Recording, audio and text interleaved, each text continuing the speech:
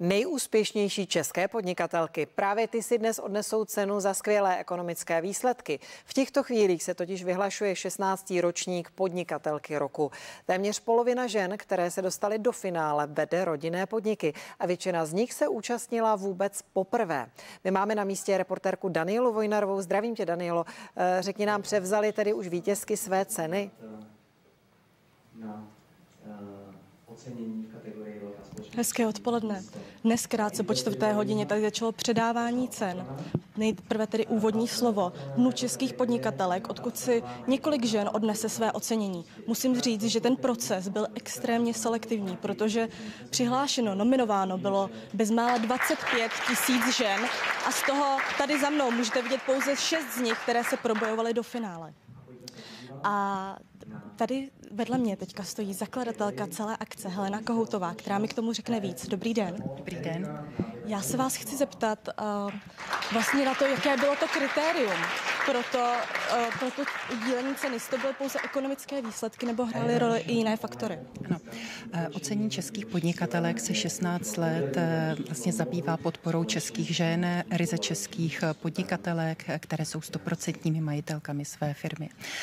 Ta nominace pochází ze strany odborného garanta projektu, což je mezinárodní ratingová společnost Krivček Credit Bureau, která na základě vlastně eh, skenování celého obchodního rejstříku vybírá ty ženy, které mají vysoký index. Letos jich bylo 1970 právě z těch necelých 25 tisíc firm a 106 eh, podnikatelek vlastně soutěžilo eh, ve finále a letos předáváme 16 ocenění v 16 kategoriích.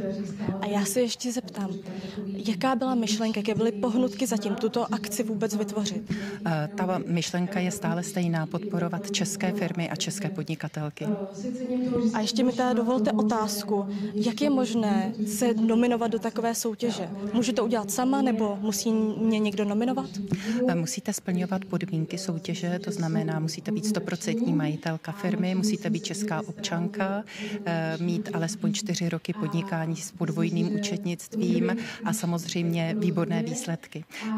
Ráda bych doplnila, že vlastně porovnáváme 70 50 ekonomického hodnocení a 30% je to hodnocení odborné poroty a většinou jí tvoří příběh a, a vlastně nějaká společenská odpovědnost ženy.